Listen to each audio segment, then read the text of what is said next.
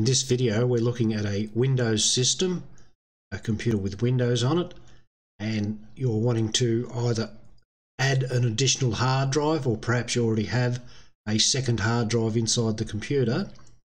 And on that second drive we're going to install Linux and we're going to do it two different ways depending on the uh, setup. So whether you've got an existing hard drive or you're adding an additional hard drive to the system I'm going to cover both scenarios in this video. Let's have a look at our Windows setup before we make any changes. Let's have a look at our disk setup in Windows.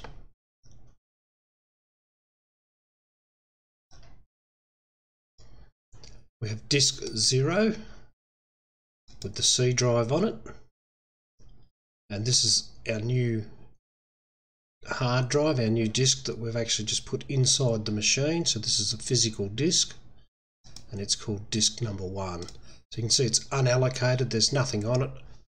It's theoretically brand new out of the shop. We're going to install Linux Mint onto this drive.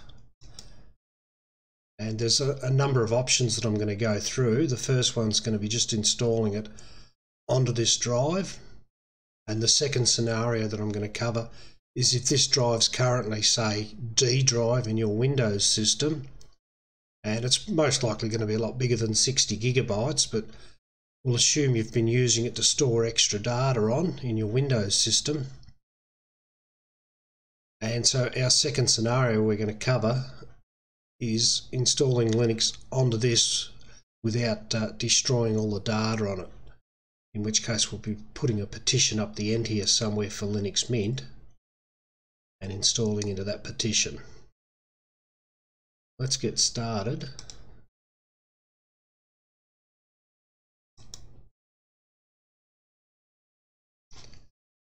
And here we are booting up the live USB of Linux Mint. And we're going to have a bit of a discussion when we get to the desktop before we install. We'll go through a couple of bits and pieces. Have a quick look at the system before we install it. Before we install Linux Mint, we're going to have a look at disks. And we can see here this 130 gigabyte hard drive has Windows on it. You can see that it's SDA and it says down here as well SDA so that's the Windows system partition there. And this is where Windows C drive is. See they're 128 gigabytes. We can also see that they're NTFS. Okay. This is our second drive, which is 64 gigabytes. And it's free space, so there's nothing on there. This is where we're going to install Linux onto this second drive. So we'll start the installer.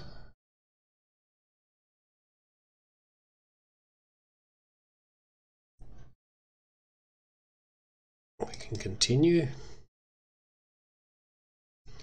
That's good, so I can continue again. I'm not going to select that, but I recommend that you do. So let's continue. As expected, this computer currently has Windows 10 on it. What would you like to do? We can see it's defaulted to install Linux Mint alongside Windows 10. If we go down that path, it's going to install Linux Mint onto the C drive and not onto the second hard drive that we want to put it on. So we'll choose something else and we're going to continue. Here we can see SDA which we know is the Windows disk. And there we can see the, the system partition there and there's the actual Windows install there or the C drive as Windows calls it. And they're both NTFS. SDB is the second drive and we can see here that it's 64,000 megabytes or about 64 gigabytes. If it doesn't show up here, as free space. If you just see it there, you'll need to click here, new partition table. There's nothing at all on the drive. So we'll hit new partition table and we're going to continue. Okay, so it's 60 gigs, so now it's it's showing up here as a 60 giga or 64 gigabytes, 64,000 megabytes. Okay, so we have our free space on SDB. Free space. We click the little plus. Uh, we can run with these defaults here. So the only thing that we need to put in here is the mount point, which is the forward slash.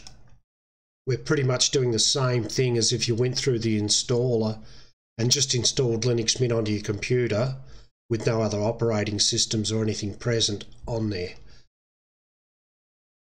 The only thing we're doing different is we're installing onto this second hard drive.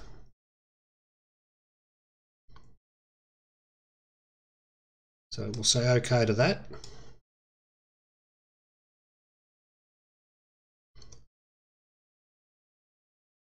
And there it is there. It's going to install Linux Mint onto SDB1 on SDB drive device for bootloader. So this is where it's going to install the grub bootloader.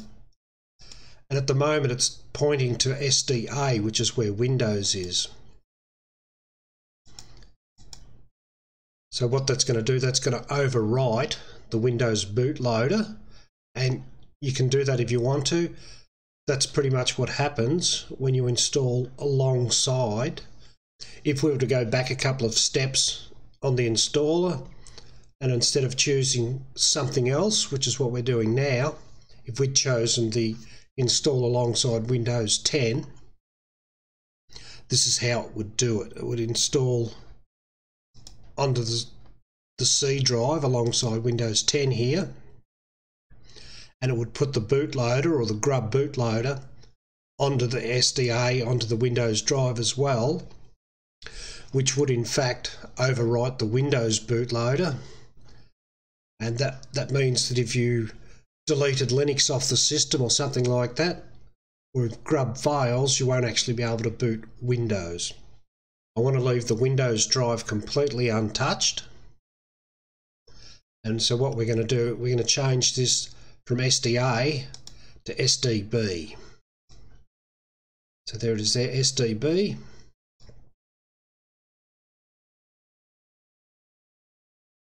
So now it's going to install Linux into SDB1. It'll create that partition and put Linux in there. And it's going to put the bootloader onto SDB. The bootloader is going to find when we go through the rest of the install, it's actually going to find the Windows 10 and put that into the grub boot menu. However, the machine is still set to boot from the motherboard, from the BIOS. The machine's still set to boot off the first drive, which has got Windows on it. So you'll see when we restart the machine, it's going to boot straight back into Windows. Now, if you're using Windows all the time, you'll probably want that and you can run with that. You can just leave it as it is. And if you want to boot Linux, you can press F2, F8, F10, escape, delete, whatever the key is for your motherboard to get to the boot menu. Uh, you can press that key, choose the other drive, SDB. It'll be it might be drive two, it might be the Samsung 60 gigabyte drive, whatever it's labeled in your BIOS will be what you choose if you want to use Linux. The system's going to be pretty much unchanged as far as turning the computer on when we're finished installing Linux. It's still going to boot to Windows 10 because it's set to to boot from the first hard drive that it finds, which is the one with Windows on it. So if we were installing alongside Windows 10, then Grub would overwrite the Windows bootloader. The computer, when you turn it on, will look at the first drive, which is SDA.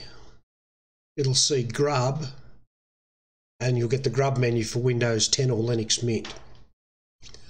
But in our case, we're going to have to press whatever key to bring up the boot menu from the motherboard, from the BIOS, and choose the other disk to boot into Linux, which will actually give us the choice to boot Linux or Windows because Grub will be there and Grub will say, you can boot me here off this disk, and there's Linux. And Grub will also see Windows 10 over there and give you that choice so you can sort of go around the block two ways to get to Windows 10. So we're putting Linux on the second drive. We're putting the bootloader on the second drive, so we're not touching the first drive at all. I actually recommend to disconnect the Windows 10 drive to do an operation like this. But of course, that depends on uh, your comfort levels and skill levels, how confident you feel. Uh, I'm doing this in a virtual environment, as you can see here. It says VBox, so that's VirtualBox. But it's the same. My actual computer that I'm doing this on has Windows and Linux on it, and this is the way that I install it onto my own system. So if either one of my drives fails, I can still at least boot into the other system. So if my Windows drive dies, I can boot into Linux. My Linux drive dies, I can boot into Windows. And I tell the computer to boot off my Linux drive and I use Grub from there to go to the Windows drive. So this is pretty much exactly as I do it on my own system. So this gives us a little bit of redundancy. And if for whatever reason we want to throw Linux away at a later date, you can just simply disconnect the Linux drive and your computer's exactly as it was before, just with Windows on it. So once again, this is a key key thing here is to make sure you put the the grub bootloader onto this onto the same drive as Linux. So we're looking good. There's Linux. There's the bootloader on the same drive, SDB. So let's install now. We continue.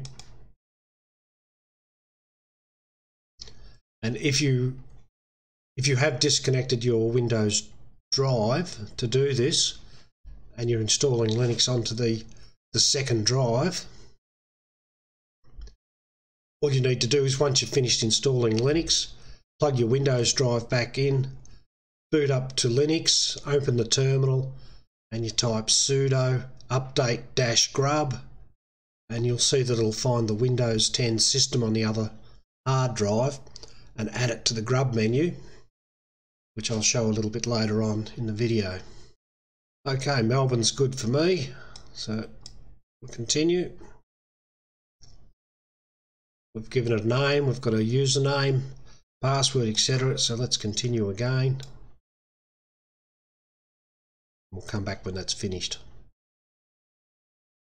And there we go, we're finished. So we might as well just restart. And we'll see it'll go straight into Windows.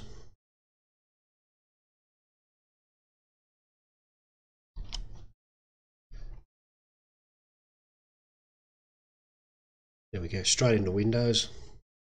We'll let it boot up and we'll have a look at the disk management utility. And this is because Grub is on the other drive and the machine is set to boot off the Windows drive. So we're booting into Windows. we either need to interfere with that process with the boot menu key at the uh, point where we turn the computer on Or of course we can go into the BIOS and actually change the drive that it boots from by default. So let's have a look at Windows. So we'll right click the start button and we'll go to disk management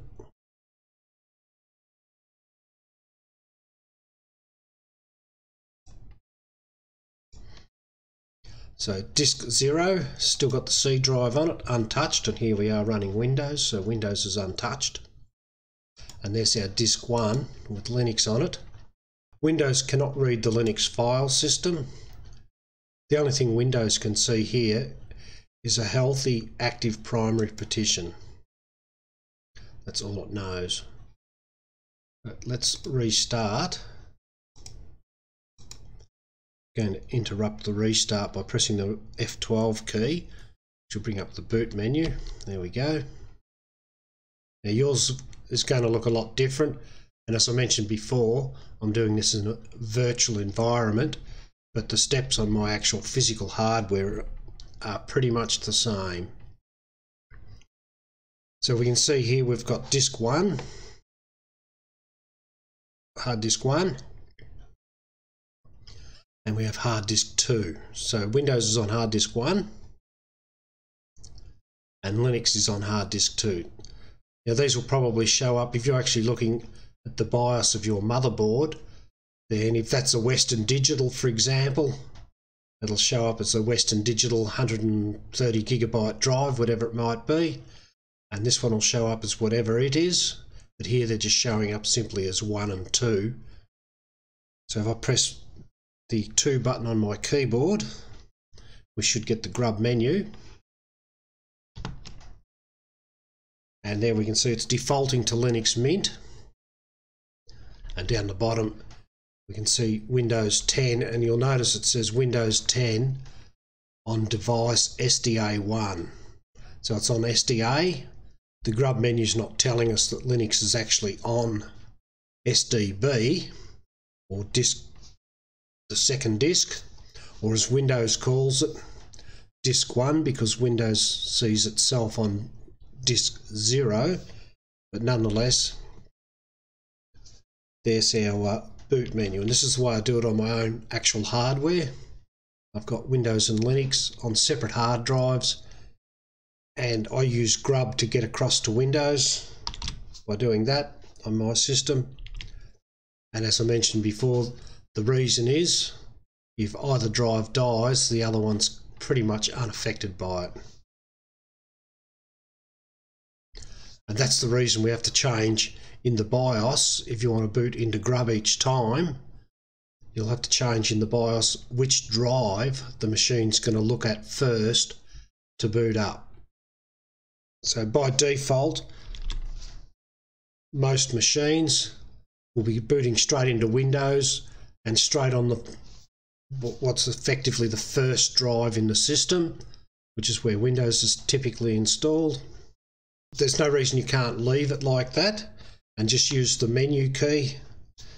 Uh, just use the key to bring up your boot menu each time you start the computer if, if you want to go into Linux or just let it boot into Windows. So it just depends how you want to do it. This is the way I do it on my system. Um, but yeah, there's there's plenty of plenty of different ways to do it. So let's boot into uh, Linux.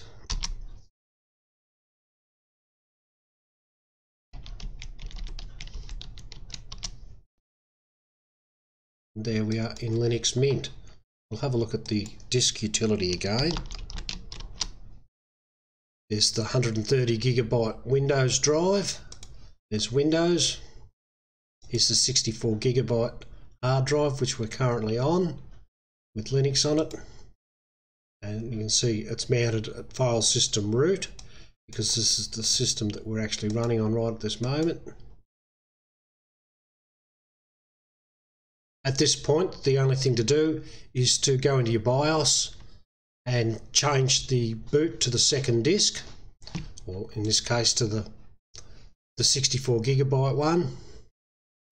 Or you can leave it as it is, as I said before, and just choose if you want to boot into Linux, press your uh, boot menu key on the on the keyboard as you start the computer and choose it that way. Just depends what you want to do.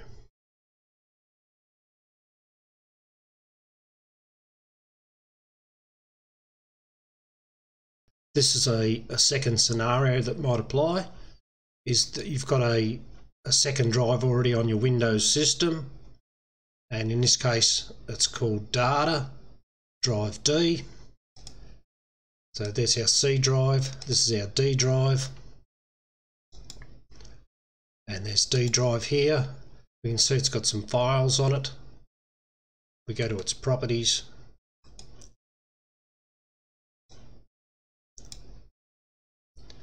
It's got 11 gigabytes used and there's 48 gigabytes free.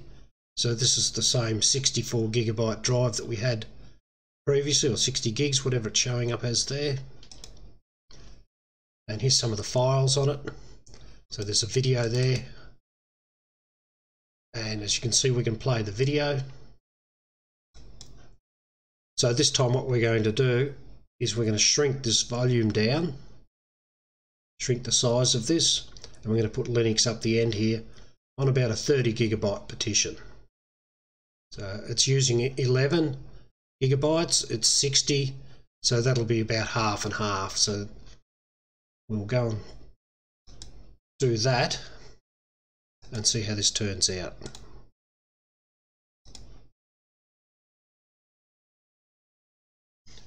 Once again, we boot up to the live Linux session desktop so that we can install it. Once again, we're at the live session desktop, so we'll have a look at disks. And here's our Windows hard drive. There we can see it's 130 gigabytes, it's NTFS. And we can see this is the data drive from Windows, 64 gigabytes. We know it's got a little bit of data down here, about 11 gigs. So let's go and shrink that down and get it ready. So we hit the menu and we type gparted and there it is. This is the partition editor in Linux Mint. Just give it a moment to load.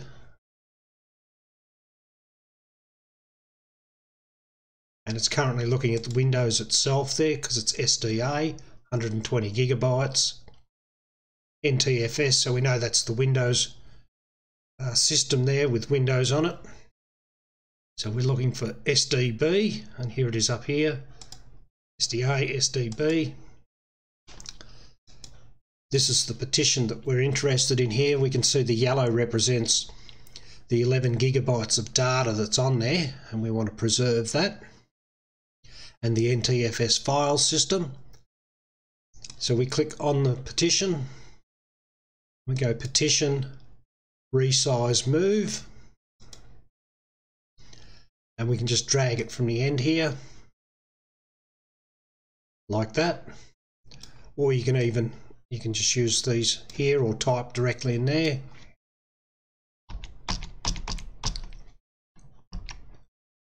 Like that so at this point we just want to shrink it down so the new size is 30,000 megabytes or about 30 gigabytes and this free space following is about the same size there 31 so that's close enough for what we're doing here. So let's hit resize move. And there we see. So now we hit the little check mark to perform the operation and we go apply. As usual, there's always the risk of something going wrong when you're installing or resizing, moving partitions around, that sort of thing. So that looks like it worked successfully. We can close out of there. We could do more partitioning here, but we'll do it all from the installer now. We've got 30 gigabytes here to put Linux in. So we can close out of there. And we can start the installer once again. And we'll work our way up to the appropriate section. Okay, once again, it's discovered Windows 10 on the computer and it's offering to install alongside, which is not what we want to do. So again, we choose something else and we continue.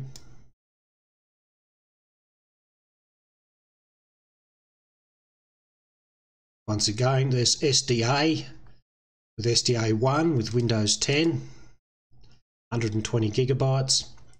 Is our SDB The orange represents the NTFS partition with the data for Windows, which is there. So here's our free space, which is this section up the end here.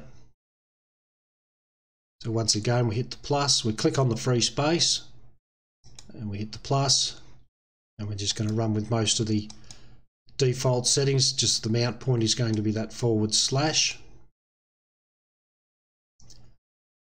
And it's going to be a logical, we could make it primary, but it's saying make it a logical, so we'll just run with that. And we'll go OK. Again, we're going to put the Grub bootloader, device for bootloader installation. So this will be the Grub menu. We're going to put that on SDB. And we're going to click install now. And continue.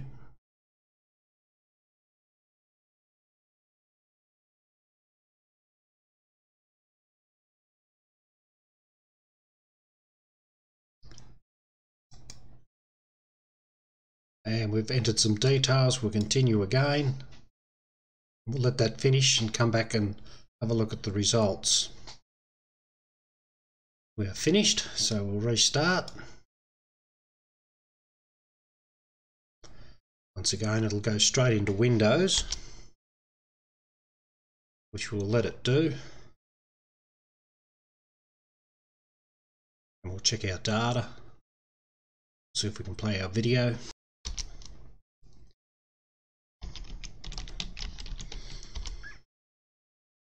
Okay, well, we'll look at the disk management first.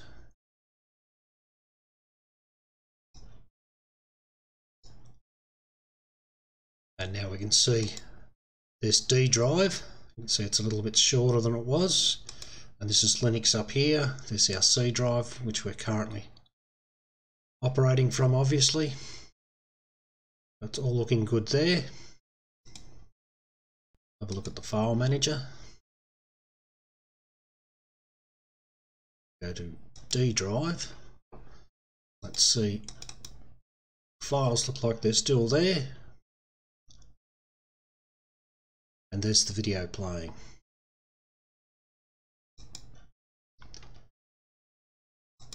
So Windows is happy. Let's go and have a look at uh, Linux.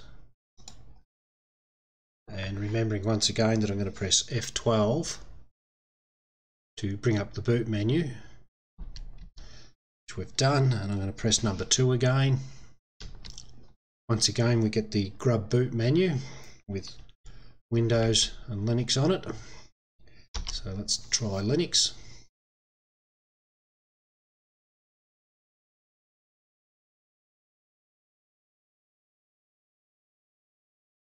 Welcome to Linux Mint. Let's have a look at disks there's the 120 gigabyte, 130 gig. There's Windows, NTFS. This is the D drive in Windows. There's the D drive there, the data partition, NTFS. And this is just an extended partition because this one here is actually a logical partition. Now and this is where Linux is that we're currently on. So when I click on this you'll see mounted at file system root down here. This is the system we're actually on right now. And it's just under this extended partition. So there's all our drives and partitions. I'll open the file manager and we know that uh, data is where the the files were. So let's there's that video there. This is the video we were playing before on Windows. So let's give that a click and see what happens. And there's our video playing on Linux.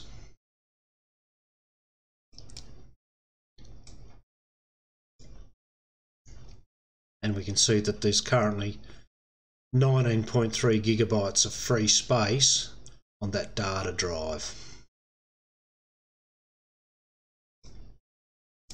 So that's scenario number two, I guess you could call that, where you've got an existing drive that you've been using in your Windows system as a data storage, and you've got enough free space on it to bang Linux in there somewhere, and that's a way of doing that. There's obviously lots of other different things you can do.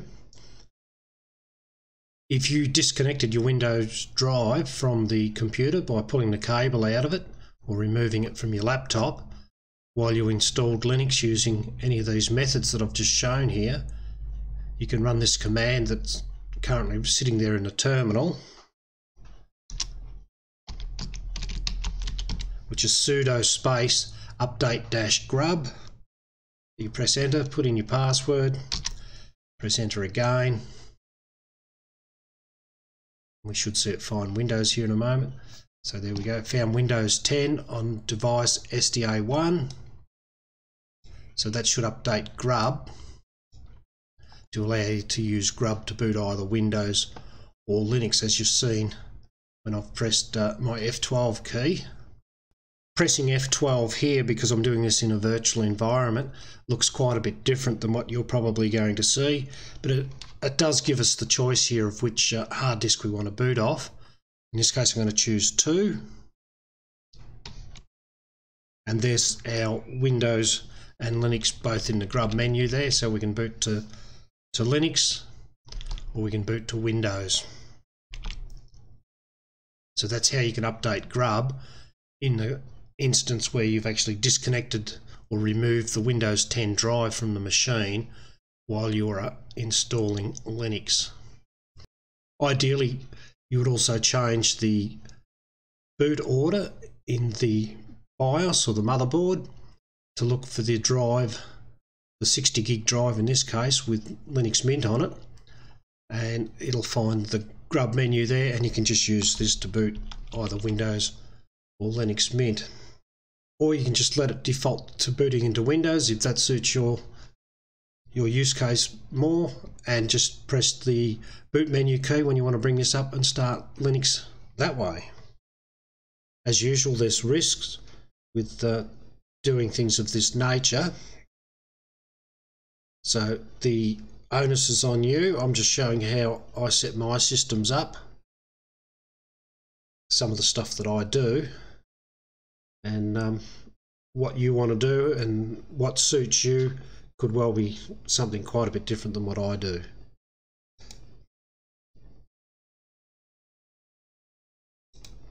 So there's two different ways of installing Linux onto a separate drive than your Windows system and um, enjoy.